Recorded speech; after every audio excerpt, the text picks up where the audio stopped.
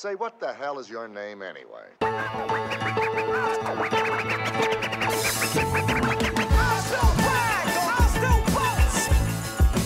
Salut, c'est Aurélien du blog Batteur sans limite et bienvenue dans cette première vidéo de la collaboration entre Wikidrummers et Batteur sans limite. Et cette rubrique, on l'a appelée Wikidrummers sans limite. Le but, c'est de vous présenter du contenu qui va être sur le travail euh, plus mental, comment devenir un meilleur batteur en travaillant plus le côté mental, donc le côté motivation, la confiance, motivation pour pouvoir progresser plus rapidement, se bouger, euh, et la confiance pour réussir à décrocher des contrats, rencontrer d'autres musiciens, aller sur scène, toutes ces choses qui, euh, nous rendent un meilleur batteur, mais qui se trouvent pas derrière l'instrument. Donc ce sera très complémentaire à ce que fait déjà euh, Quentin avec les wiki training qui sont géniaux. Euh, donc voilà, une rubrique complémentaire au wiki training. On commence aujourd'hui avec un concept qui va vous permettre de progresser plus rapidement, qui sera très efficace si vous avez quelque chose de précis que vous voulez améliorer.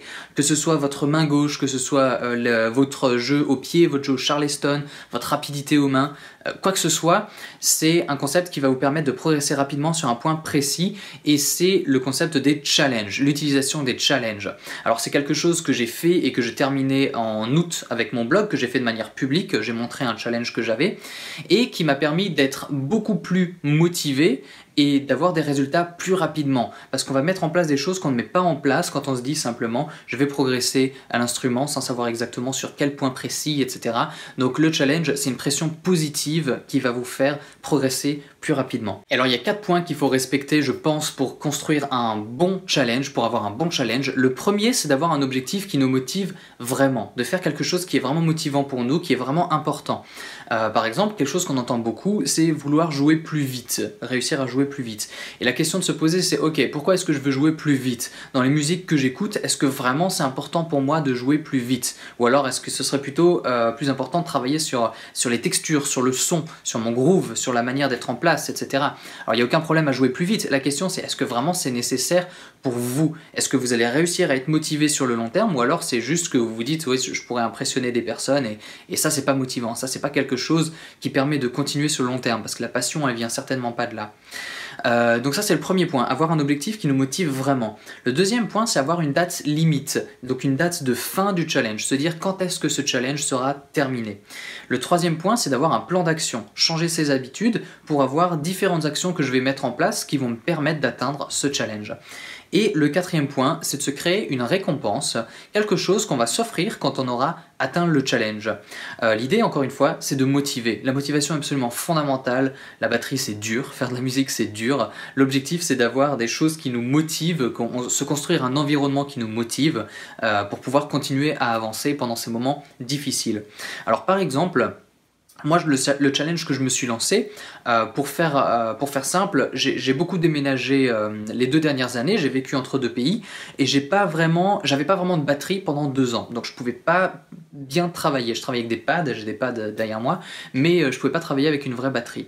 Et quand j'ai réussi à avoir enfin ma double pédale avec un pad pour travailler la grosse caisse, je me suis dit ok, là j'ai beaucoup perdu à la double pédale, et c'est quelque chose qui est important pour moi. J'adore utiliser la double pédale, et je, je suis pas encore bien à l'aise à des vitesses au-dessus de 160 BPM. Donc je me suis dit, ok, à ce moment-là, euh, j'étais à l'aise à 120, 130 BPM. Ok, je vais faire le nécessaire pour être à l'aise à 160 BPM dans 6 mois. Et donc je me suis créé un plan d'action. La question que je me suis posée, c'est quelles actions euh, rendraient l'atteinte de cet objectif inévitable? Si je fais ça tous les jours, qu'est-ce qui ferait que ce serait inévitable J'ai donc mis en place différentes, différents exercices et une routine qui était d'une heure et demie au début, euh, parfois même deux heures où je travaillais par jour la double pédale, avec différents exercices sur la rapidité, l'endurance, euh, euh, rapidité, endurance, la précision aussi et la propreté, et donc plein de choses qui, qui, qui allaient ensemble pour construire ce, ce, truc global qui est être à l'aise à 160 BPM à la double pédale dans 6 mois. Et pour ça, je me suis dit, il y a deux choses qui vont définir si oui ou non j'ai atteint mon challenge. La première, c'est de jouer pendant 5 minutes euh, sans arrêt, en double, en double croche, euh, à 160 BPM. Donc si j'arrive à jouer pendant 5 minutes sans m'arrêter, en double croche et que c'est propre, que je, considère que c'est propre, alors c'est bon, challenge accompli.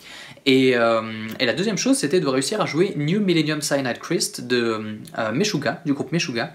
Euh, c'est une chanson qui a 152-153 BPM, quelque chose comme ça, donc qui est juste en dessous de la vitesse que je m'étais euh, euh, imposée, que la vitesse de mon challenge. Et la raison pour laquelle j'ai choisi cette chanson, c'est déjà une chanson que j'adore, que j'écoute depuis plusieurs années, qui m'a vraiment impressionné et qui, euh, qui me motive, que j'ai envie de savoir euh, jouer.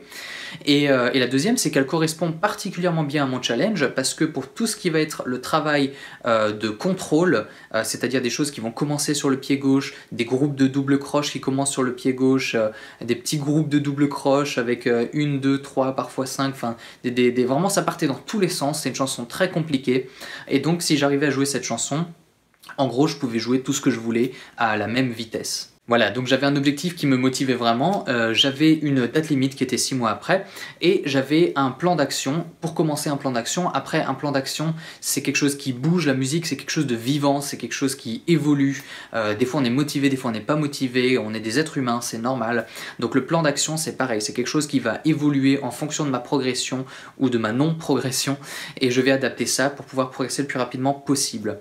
Le quatrième point qui était la récompense, c'est euh, quelque chose que j'avais pas mis en place avec mon challenge. Euh, J'aurais sûrement dû. Et euh, ça m'aurait certainement aidé dans certains moments de me dire ok non je, quand j'ai fini mon challenge je m'offre cette cymbale par exemple euh, que je que je n'osais pas m'offrir jusque là c'est quelque chose que j'aurais pu faire qui aurait pu m'aider et donc le résultat bah, ça a vraiment bien marché j'ai effectivement atteint euh, mon, euh, mon challenge, mon objectif euh, en 6 mois. Il y a même des fois où j'arrivais bien avant 6 mois à faire ce qui était euh, à jouer à 160 BPM et à jouer cette chanson de, euh, de Meshuga. Donc l'objectif était atteint et plus que ça, j'ai eu la progression la plus rapide que j'ai jamais eue à la batterie. Euh, ça c'est une chose, ça c'est du résultat direct, mais aussi j'ai appris à apprendre. Ça c'est une autre chose qui est fondamentale lors de la création d'un challenge avec quelque chose qui est difficile, qui va nous sortir de notre zone de confort et qui va nous pousser à apprendre des choses nouvelles. C'est que j'ai appris à apprendre. J'ai appris à me poser derrière ma batterie et à travailler correctement un point précis pour progresser sur une chose précise. Et pas juste venir en commençant à jouer tout et n'importe quoi. Non, quand on est vraiment concentré sur une chose en particulier, on progresse plus rapidement sur cette chose et on se voit progresser. On voit exactement ce qui se passe, qu'est-ce que, euh, quelle est l'évolution. Et alors ça, c'est si je vous pose la question, ces trois derniers mois ou ces six derniers mois, sur quoi est-ce que vous avez progressé? Est-ce que vous avez remarqué que vous avez progressé sur quelque chose?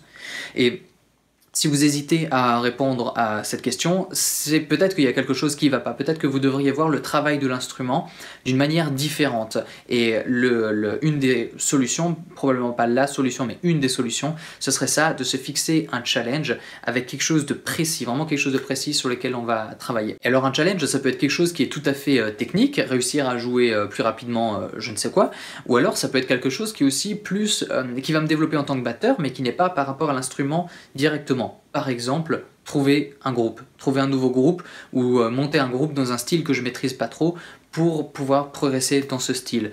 Ou alors, euh, euh, ça pourrait être encore faire plus de concerts, faire un concert dans telle salle. Il y a une salle près de chez moi où j'ai vraiment envie de jouer. Voilà, se dire cette salle, je vais y jouer avant telle date ou avoir une date programmée avant tel moment. Euh, et pour les récompenses, euh, ça peut être quelque chose de, de matériel, de la batterie, ça peut être une nouvelle cymbale, quelque chose comme ça, ou quelque chose d'aussi simple qu'une paire de baguettes originales que vous avez envie d'essayer. euh, voilà, pas besoin d'être quelque chose à 1000 balles, hein. ça peut être juste une nouvelle paire de baguettes ou quoi. Ou ça peut aussi être quelque chose qui n'a rien à voir avec la batterie, comme par exemple vous dire je me fais un week-end avec ma femme, je vais, je vais m'autoriser à faire, à faire ça, à aller ici, à aller là. Ou alors par exemple à prendre un cours avec euh, Klaus Hessler ou euh, Stéphane Chamberlain ou des, personnes comme ça qui donnent des, des, très bons professeurs qu'on peut trouver sur internet et, euh, et qui sont peut-être un petit peu chers où vous allez dire à premier abord waouh je prendrai pas ce genre de cours et là ce sera le moment de vous dire ok je vais prendre un cours avec une personne qui est vraiment reconnue dans le milieu et voir ce que ça fait à mon jeu, voir ce que ça, comment ça me pousse. Voilà, donc les challenges c'est fondamental pour réussir à progresser rapidement sur quelque chose de précis. C'est fondamental pour garder la motivation, ça marche très très bien. Et une autre chose que vous pouvez mettre en place pour être certain de progresser aussi et d'atteindre votre challenge, c'est ou alors de trouver un partenaire avec qui vous allez le faire, c'est-à-dire trouver un autre batteur ou même un autre musicien, un guitariste qui va aussi se euh, se fixer un objectif particulier et, euh, et, voir avec lui comment vous allez euh, progresser, vous motiver l'un l'autre, vous dire chaque semaine vous faire un appel par exemple et vous dire ou alors où, est-ce que tu as galéré, qu'est-ce qui s'est passé, comment tu as progressé, vous féliciter, vous entre-challenger, etc. Ça peut être une très bonne idée.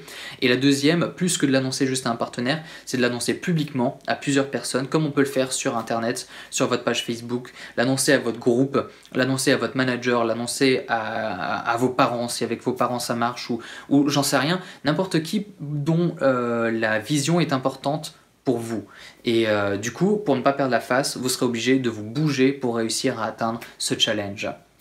Voilà, je vous invite à mettre dans les commentaires quel va être votre challenge, sur quoi vous vous décidez de progresser, de vous bouger et de mettre en place enfin un plan d'action qui vous permettra euh, d'avancer plus rapidement. Je vous dis à très bientôt. Ciao ciao